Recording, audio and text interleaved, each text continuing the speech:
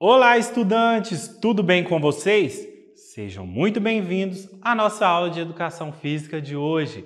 Eu sou o professor David. Tá lembrado qual será a nossa aula de hoje? O nosso tema? Tenho certeza que sim, que está todo mundo aí esperando, vidrado na TV, para a nossa sequência de aulas. Lembra? Lembra do nosso tema? Aquele esporte que respiramos, que o mundo respira e o Brasil mais ainda. Futebol. Em específico, estamos aprendendo sobre a Comebol Copa América. Mas aí ficou uma dúvida aí. Vamos lá. Copa América, professor. Temos a América do Sul, a América do Norte, a América Central, enfim. Mas vamos lá na geografia, né, galera? A nossa América é a América do Sul. O nosso país está localizado na América do Sul. Por isso, quando se fala de Comebol Copa América, está sim envolvido os países que fazem parte da América do Sul, como Brasil, Argentina, Uruguai, entre outros. E aí, preparados para a nossa sequência? Essa é a segunda aula da nossa sequência, hein?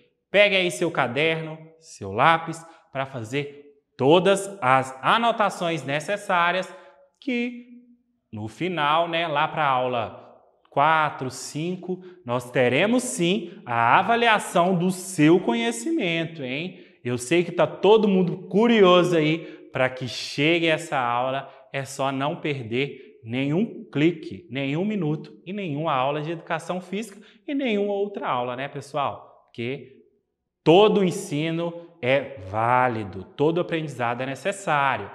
Vamos dar início à nossa segunda aula sobre Comebol Copa América. Vamos aprender hoje muito mais coisa sobre essa competição centenária.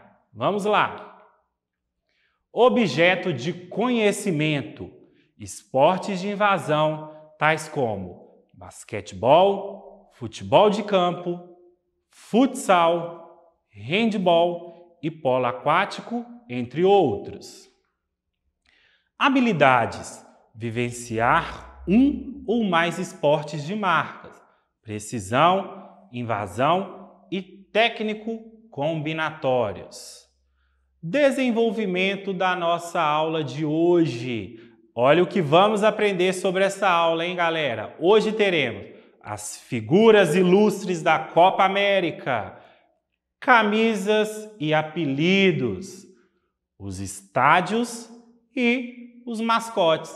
Vamos aprender aí sobre cada coisa aí que eu ditei agora sobre essa fantástica competição. Fique ligado e vamos lá. As figuras. Na Comebol Copa América, jogam os melhores jogadores de futebol de cada país sul-americano. A convocação pela sua seleção é sagrada. É algo aí, gente, que deixa qualquer jogador, qualquer atleta assim, ó, apreensivo, né? Fica aí. Se você foi convocado, você pode ter certeza que você é um baita jogador, hein? É por isso que veremos em campos as principais estrelas do futebol mundial. Só entra craque nessa seleção, hein, galera? Vamos lá, aí na tela, vamos ver aí algum desses craques do nosso futebol sul-americano. Temos ele aí, o cara, esse é o cara. Lionel Messi, esse argentino que é o cara, assim, no futebol, né? Argentino, mas que foi só esse ano que ele conquistou a única competição conquistada por ele. Infelizmente, em cima da gente, mas foi o único troféu que esse craque levantou pela sua seleção argentina. Temos ele aí também, essa figura Luiz Soares, que é o uruguaio. Esse aí é o cara também do Uruguai. Não podemos esquecer do nosso craque, nosso menino de ouro, Neymar. Quem nunca ouviu falar desse craque? Esse que nos enche de orgulho. De vez em quando ele dá umas desequilibrada, mas é mais vitórias e faz muito gol. Então a gente vai dar um desconto pro nosso craque aí. Temos também Arturo Vidal, que é o cara da seleção chilena. Peru vem com Paolo Guerreiro. Esse cara também é um dos tops. Já jogou muito aqui no nosso futebol brasileiro. O venezuelano Everson Soteudo também é um nome fantástico aí, um dos maiores jogadores da seleção venezuelana. A Colômbia vem aí com a sua figura ilustre, James Rodrigues. Paraguai vem representado por Gustavo Gomes. Equador, Moisés Caicedo. Esse cara do Equador, gente, esse é fantástico. É de botar medo em qualquer adversário. Temos também ele aí, ó, Marcelo Martins da Bolívia. Os mineiros, né, conhecem bastante esse cara aí, que para nós aqui para a seleção boliviana, Marcelo Martins, mas para o futebol mineiro é o Marcelo Moreno, né? Joga aí no, no Cruzeiro. Esse é a figura do esporte mineiro. Camisa e apelidos. A seleção de cada país tem uma camisa com seu escudo e também um apelido, que quase sempre está relacionado a cores da sua bandeira. Aqui na nossa imagem está selecionado pelo grupo que foi a Copa América de 2021 que aconteceu aqui no Brasil. O grupo A vem com o Chile, que é a Laroja, uma camisa vermelha e tem a estrela do Chile, ali azul e branco. A Bolívia vem com a La Verde, uma camisa verde. Argentina, La Albiceleste, camisa da Argentina.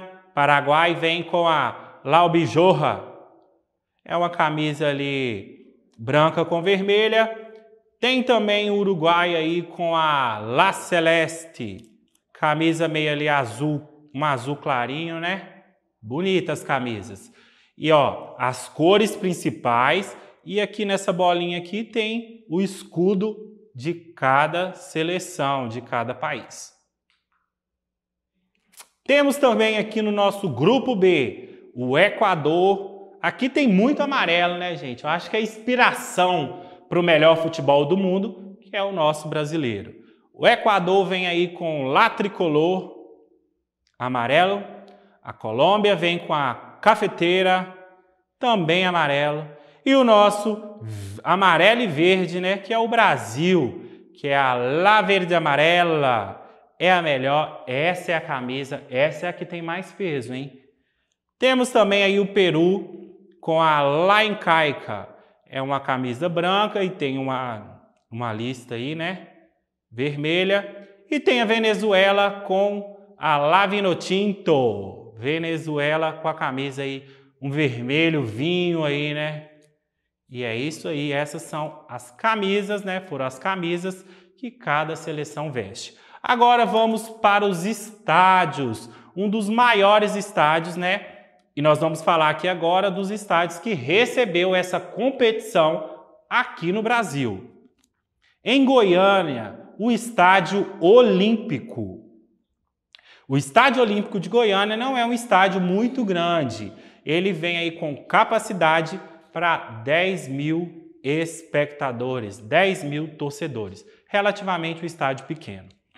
Em Cuiabá temos a Arena Pantanal, famosa Arena Pantanal que fica lá em Cuiabá. Já é bem maior do que Goiânia, né? A Arena Pantanal, ela, ela cabe aí, ela consegue, né, colocar aí nessa arena 44 mil torcedores até 44 mil espectadores. Temos em Brasília o estádio mais famoso, um dos né, mais famosos do Brasil, que é o Mané Garrincha. Um estádio novo, uma estrutura moderna e ele cabe aí 72 mil torcedores. bota gigante nisso. Comparado aqui com o Estádio Olímpico de Goiânia, sete vezes mais, hein? Um público sete vezes maior.